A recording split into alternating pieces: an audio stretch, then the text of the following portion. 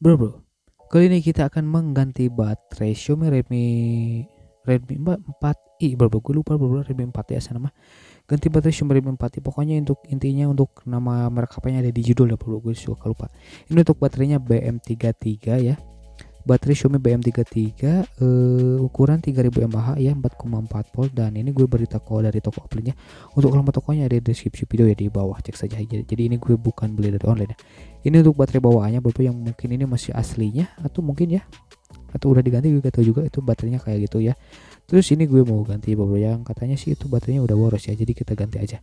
Ini untuk baterai yang barunya beberapa BM33ME itu 3,8 volt ke 3000 mAh ya hmm. dan oke sekarang kita coba pasang dulu aja ya bro, bro. yuk.